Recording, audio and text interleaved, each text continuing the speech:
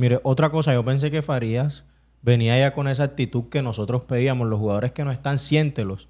Y creo que lo hizo en un partido y ahora, con lo visto ayer, creo que no lo hizo porque lo quería hacer, sino porque obligatoriamente debía hacerlo.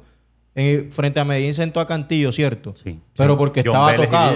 Porque estaba tocado, no porque lo quería sentar. Y, y ahora se da cuenta uno. No sé, o de pronto para Harry sí. Ayer entre Vaca y Titi era evidente cuál de los dos era el jugador que debía salir del compromiso. O sea, Vaca estaba cansadísimo. Se le veía cansado. Titi estaba elaborando juego desde el medio campo. Titi estaba haciendo jugar a los demás. La jugada del penal que termina no siendo penal es una jugada en la que el Titi va al medio, pivotea y encuentra a Chará. Y así lo vimos en gran parte del compromiso. Le digo, sí, también podía salir. Pero si usted se pone a ver entre los dos, el que más rápido podía salir era Vaca.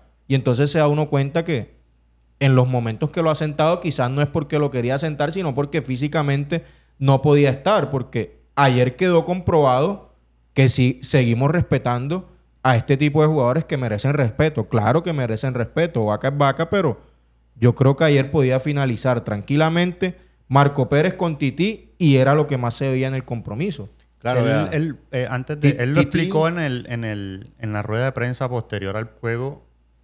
Él, él dice o él se escuda en que el partido no estaba para un media punta, que él necesitaba dos puntas netos, es decir, un Carlos Vaca y un Marco Pérez dentro del área para buscar la victoria.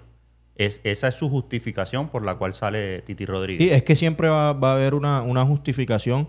Y también yo le digo algo. Yo estoy diciendo eso, pero ayer también en pleno partido yo dije: Vaca puede estar así, pero cualquiera que le quede dentro del área es gol.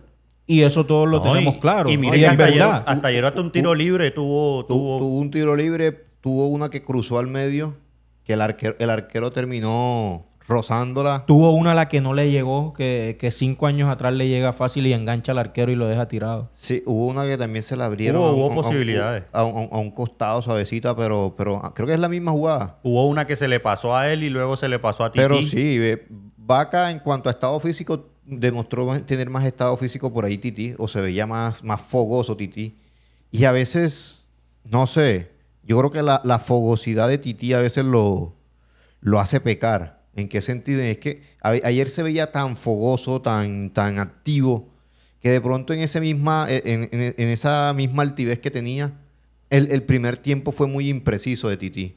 Fue muy impreciso, pero por esa misma altivez en la, en la que estaba, que, que quería jugar rápido. Yo pensé que quería- se iba a ganar la amarilla de tanto reclamar. Ah, pero es que ayer, Sí, ayer- ayer reclamaron reclamó- todo. ayer re- pero reclamó. y, pero con justa causa. Me pareció hacía, hacía reclamos, hacía reclamos fuertes. Titi le hablaba fuerte al árbitro. Yo dije, por ahí sí también se la gana. Y, y por ahí, pero sí, normal, el cambio era vaca. El cambio era vaca y, y- y- y yo creo que eso no se discute. Pero, pero bueno, algo vio el profe y, y afortunadamente... Le salió. Le salió. Pero, pero por allí, por allí el que de pronto estaba entrando en el circuito de juego con los volantes era Titi. Y quizás de pronto Marco te daba más posibilidades que Vaca en, el ataque en cuanto a, que Vaca de alguna u otra manera ya había hecho el desgaste. Y quizás ya el que, el que, el que había marcado a Vaca también estuvo, eh, tenía que haber estado desgastado y también estaba cansado y seguramente con, con Marco Pérez iba a ser más fácil para, para que Marco también ah, hi- hiciera la, la situación de gol. Pero bueno, si él quería tener a los dos jugadores más en punta, yo creo que, que esa era la decisión entonces estable. Fue, fue, buena la, la decisión, tener a los dos más, más adelantados, que eran, eran Bar- Marcos y, Y y Vaca. Vaca. Mire, yo creo que de Chará también hay que hablar porque se le dio bastante palo, merecido también, porque eh, eso es lo que a veces se discute. Hay gente que defiende jugadores cuando no hay que defenderlos y hay, gente que arropa jugadores cuando tampoco hay que arroparlos, por lo menos. Hoy Cantillo es uno menos en Junior. Hoy Cantillo es improductivo. Hoy Cantillo hace lento a Junior. Y eso no quita que en algún momento Cantillo valía en Junior y significaba mucho en el juego de Junior. Pero hoy no. Y en el fútbol hay que hablar del presente. Y creo que Cantillo no está para ser titular en el Junior de hoy. No. De Chará veníamos diciendo hace mucho tiempo, Chará no está, Chará ya es para que no esté en Junior, Chará no es para que sea titular, pero a Chará se le ha notado el cambio que ha tenido por lo menos en estos que cuatro o cinco partidos al frente de Farías se le ha visto una actitud totalmente diferente a la que venía teniendo. Y yo no recuerdo ver a Chará recuperando balones hasta, hasta en propia área de Junior, llegando al área de Junior, llegando cerca de Viniendo Mele, desde la área rival. viniendo desde atrás y hasta a veces en el, en el costado contrario al que le corresponde. Entonces, son cosas que hay que analizar y hay que mirar, porque así como a veces se habla de jugadores que no están y luego mejoran su rendimiento, también hay que valorarlo. Y hoy Chará es un jugador del que hay que hablar por cómo ha venido jugando en los últimos compromisos. Caso contrario a Cantillo, que así como estamos diciendo, a Charante se le daba palo, hoy se le aplaude, puede que Cantillo en algún momento mejore, pero por lo menos hoy no está. Por lo menos hoy Cantillo no está para ser titular. Ahora, el cambio que ingresa por él, no sé. No sé, tampoco me gusta y, y yo no sé. Yo quisiera saber si es que yo no analizo los partidos como lo analizan las páginas en redes sociales que aplauden mucho y alaban a Vélez, que no sé si es, si es que yo soy el que estoy errado. Oiga. Hablando de Vélez, no sé si yo soy el que estoy errado. Ayer- Da malos pases. La verdad no le veo nada bueno para estar por lo menos como suplente. No, o vea. sea, si Cantillo no está bien, Vélez tampoco es el reemplazo. Y horrible, vea. Ayer hubo una jugada donde va a un costado a hacer un cierre y termina, termina mal parado Vélez. Termina mal parado porque no hace bien el cierre, termina perdiendo la pelota que él había ganado, él mismo la había ganado y termina perdiendo la pelota. Después de eso hubo otra jugada en el medio campo donde da un pase atrás que casi deja pagando. que ¿no? casi deja al equipo Horrible. corto, casi le queda la, pelota le- por poco. Olivera. Creo que se la di intent- no, se- no se Él rechazó decidió- hacia atrás. Sí, no, él no decidió si dársela a Olivera o meter el pase largo para Mele. Y la pelota quedó como entre los dos jugadores y, y por poco la... Afortunadamente creo que fue Olivera el que, el que retomó la situación y da el pase a, a- a Mele. Pero, pero hubo varias jugadas de, de, de- de Vélez donde uno lo ve y uno dice, pero ¿Cómo está ahí? Mire, y, y esta situación... muy limitado, limitadísimo, limitadísimo. Y esta situación termina por dañar a otro jugador muy bueno dentro de Junior, que es Didier Moreno.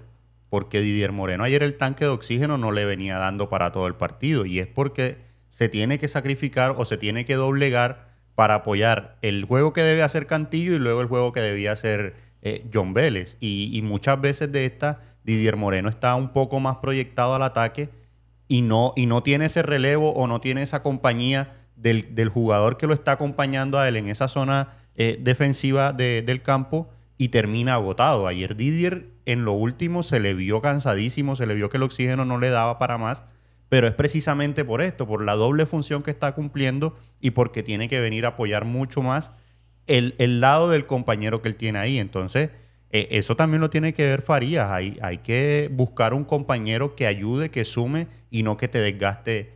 Ya tienes uno menos con el que juega en esa posición. Y luego de ello vas a desgastar a tu otro baluarte, porque Didier Moreno es un baluarte en, en la zona media de Junior. eh, te vas a quedar sin nada prácticamente, porque luego vemos a ver quiénes están ahí y no hay más nadie. Porque si el que va a entrar de cambio es John Vélez, quiere decir que los otros están peor. O sea, te sacan a Cantillo y te meten, y te meten a Vélez, o sea. Es prácticamente que estamos hablando de un jugador que no tiene un buen presente como Cantillo, pero para meter a Vélez y ver como que lo mismo, o no sé si decir peor, hay que ir buscando alternativas y, creo que Junior tiene jugadores que de pronto también pueden tener la misma oportunidad que siempre ha tenido Vélez, que no entiendo cómo, no entiendo por qué, o no sé si son de esas cosas que se manejan en el fútbol que no tienen nada que ver con el fútbol, que lo tienen ahí, teniendo la oportunidad partido a partido y aún sin demostrar, porque está el otro cantillo. Eso Incluso ayer estaba en la convocatoria, ¿no? Exactamente. Y sí, ya se había hablado de temas de indisciplina, de, de que el jugador no estaba fuera de lo futbolístico, no estaba respondiendo en Junior, pero cuando lo vimos lo hacía bien. Y ayer que entró a la convocatoria pensé que de pronto Y por podía momentos, tener partido, minutos. por momentos del partido se veía como una clara opción. Claro. Por lo, por lo que le hemos visto, pues. Y, y si tenemos a Didier, que ya sabemos cuáles son sus cualidades, y queremos un jugador que haga lo que no hace Víctor Cantillo, creo que entre todos los que estaban en la convocatoria, el que lo podía hacer era Carlos Cantillo. Claro. Darle manejo al balón, darle precisión a Junior a la hora de ir al ataque. Y entra Vélez y uno queda como que, o sea, si estamos buscando la solución, ¿cómo, cómo entra Vélez? Pero son cosas que, si nos ponemos a analizar, creo que la recuperación de- del balón para el gol de Junior no fue de Vélez La en el medio campo.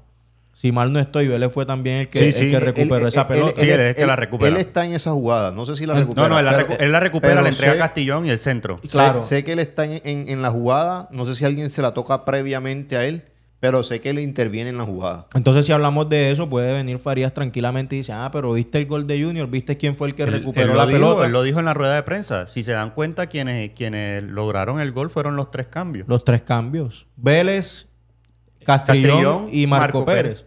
Entonces ahí uno queda como que, ah, ¿será que muere el debate ahí? No, porque es que también hay que mirar lo que, lo que ha pasado previamente y es que no estamos hablando solo de ese partido. No sé si recuerdan el partido de Medellín que fue hace nada. Intentó hacer dos cambios de frente y todos se fueron a la lateral. O sea, no se la tiró a ningún compañero. Entonces, mientras Junior tenga alternativas, hay que, irse, hay que seguir probando esas alternativas. Y Desde San Andrés Isla, territorio juniorista, aquí comienza Momento Rojiblanco.